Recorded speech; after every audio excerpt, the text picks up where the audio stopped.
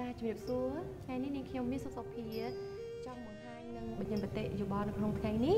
ក្នុងប្រធានបទអ្នកម្ដាយ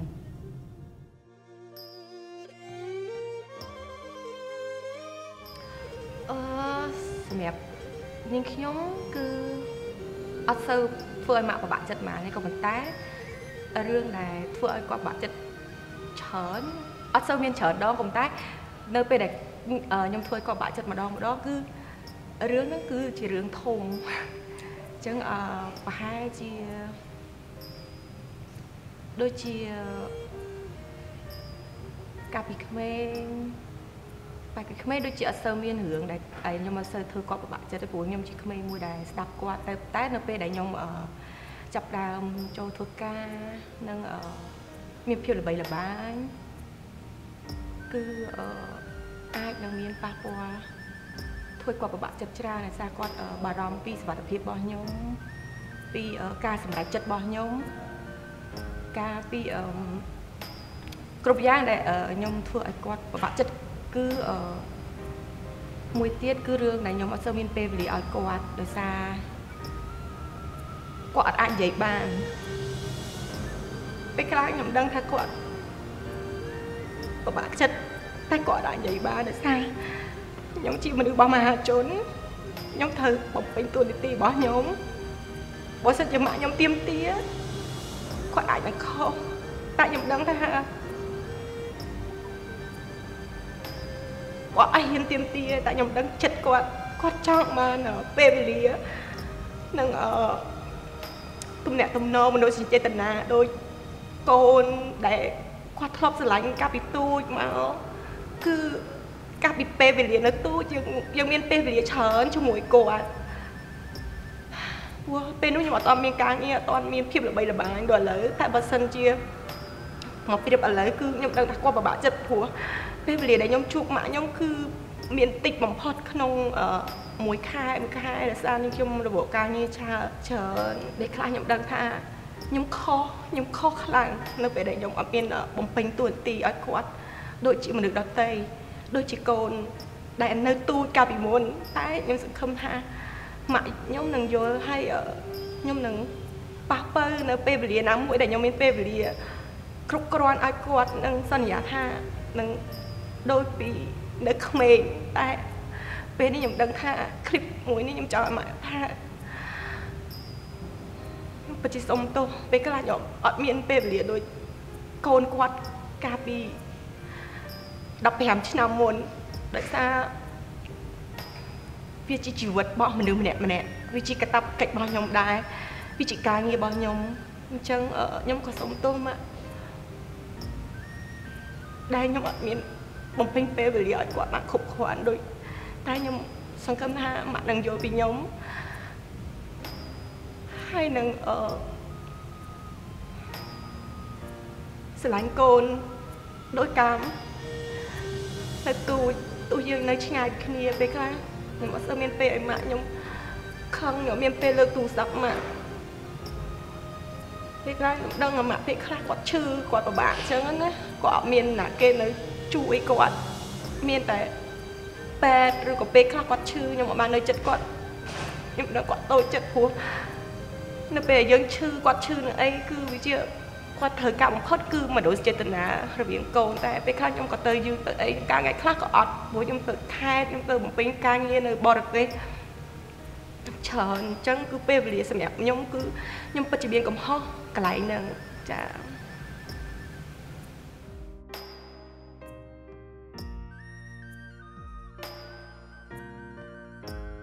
យំខ្ញុំធ្វើឲ្យម៉ាក់យំច្រើនដងហើយយូរឆ្នាំដែរ ប៉ុន្តែម៉ាក់ក៏អត់ដែរខឹងខ្ញុំឯព្រោះ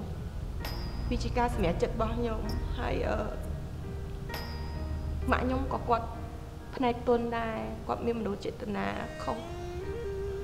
គាត់ភិកច្រើនគាត់ជាស្រីមេម៉ាយអញ្ចឹងខ្ញុំដឹងថាគាត់អឺយំខ្លាចកូនដើរផ្លូវខុស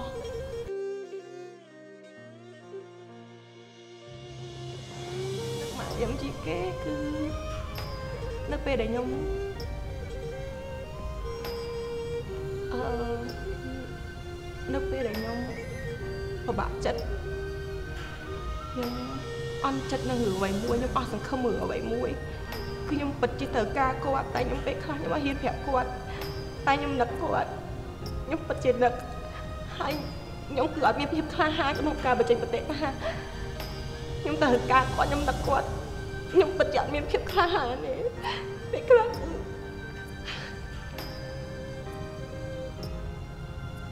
្ញុំអាចនិយាយថាខ្ញុំសំដែងខ្ញុំចេះសំដែងនៅលើឆាកខ្ញុំឲ្យអ្នកជិះច្រើនសុបាយក៏ប៉ុន្តែនៅពេលដែលខ្ញុំជួបម៉ាក់ខ្ញុំផ្ទាល់ខ្ញុំអត់សូវបានបង្ហាញមនុស្សចិត្តណាបង្ហាញដោយកូនដតីដោយសារខ្ញុំខ្មាស់ខ្ញុំមានភាពខ្មាស់ច្រើនជាមួយម៉ាក់ខ្ញុំព្រោះខ្ញុំសក់ក៏ក្រោះខ្ញុំ ខ្ញុំអត់ចេះ sweet ដូចគេបើខ្ញុំសំដែងអូខេខ្ញុំចេះតែចំណុចមួយដែលខ្ញុំខឹងខ្លួនឯងពេលខ្លះហេតុអីនឹកម៉ាក់មិនថាអើបអើបគាត់ខ្ញុំមិនសូវចេះទេមានតែគាត់មកលួងខ្ញុំកន្លែងហ្នឹងខ្ញុំពិបាកបំផុតខ្ញុំនឹកខ្ញុំអត់ហ៊ានបង្ហាញក្តីស្រឡាញ់ឲ្យគាត់តែថ្ងៃនេះខ្ញុំចង់គាត់គឺជាព្រះរបស់ខ្ញុំព្រះក្នុងចិត្តដែលខ្ញុំ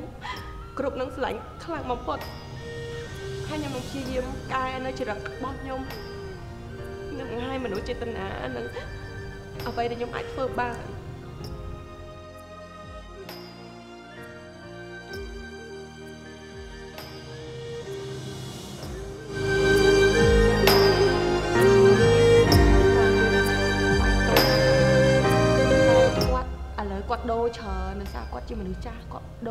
ញ៉ាំការរស់នៅការគេងរបស់គាត់គឺគាត់ដូរច្រើនហើយស្គប់សំខ្ញុំនៅឆ្ងាយពីគាត់អញ្ចឹងគឺ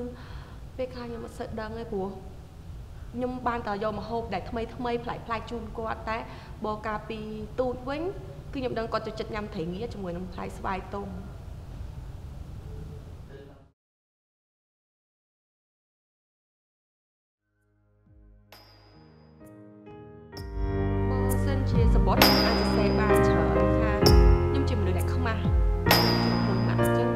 បើសិនជាសបុតខ្ញុំអាចនិយាយថាកូននឹកម៉ាក់កូនចង់នៅចិត្តម៉ាក់រហូតហើយចង់និយាយមួយម៉ាក់រាល់វិនាទីពូម៉ាក់ជាមនុស្សស្រីដូចខ្ញុំដែរម៉ាក់ចូលពីខ្ញុំ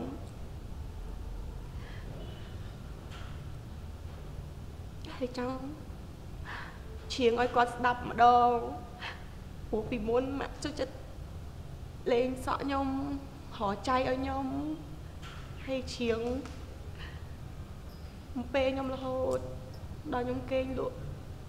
ចាំមកម៉ាក់ចូលចិត្តឈៀងចឹងខ្ញុំនឹងសេនៅក្នុងសបុតនឹងរំលឹកអនុស្សាវរីយ៍ជាច្រើនដែលខ្ញុំអាចនិយាយបានខ្ញុំអាចជាសរសេរវិញចំពោះអឺនៅក្នុងសបុតនឹង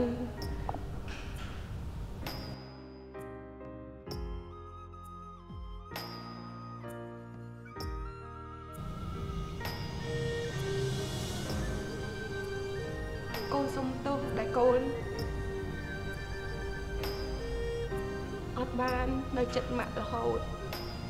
តែកូននឹងព្យាយាមរកឱកាសនៅចិត្តម៉ាក់ថែទាំម៉ាក់រហូតដល់ម៉ាក់ចាស់សក់ស្កើ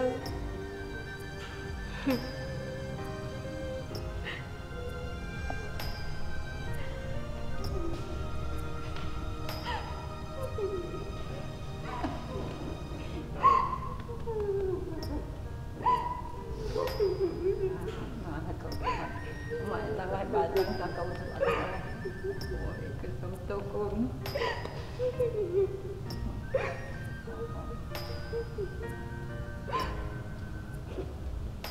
យម៉ែមិនតែគិតទេកូនកូនល្អរបស់ម៉ែកូនល្អរបស់ម៉ែកូនណាគុំយំគុំយំឲ្យកូនបានម៉ែម៉ែម៉ែម៉ែភើបចិត្តអស់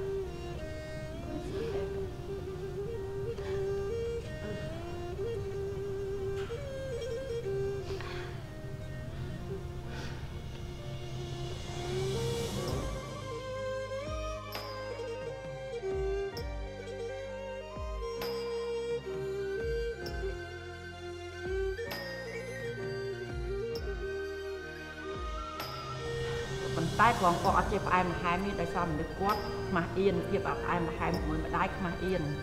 អញ្ចឹងម៉ែអត់មានប្រកាន់កូននេះម៉ែគិតថាកូនពិតជាកូនល្អរបស់ម៉ែកូនស្រីល្អរបស់ម៉ែតែម្នាក់គត់ពីកូនស្រីតែម្នាក់នេះគឺខ្ញុំ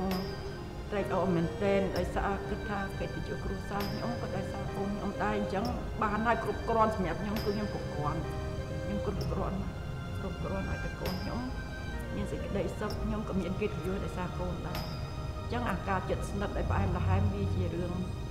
มันសំខាន់នេះម៉ែយល់ចិត្តកូនម៉ែនឹងអធិស្ឋាននឹងកូនរហូត ជារៀងរហូតហ្នឹង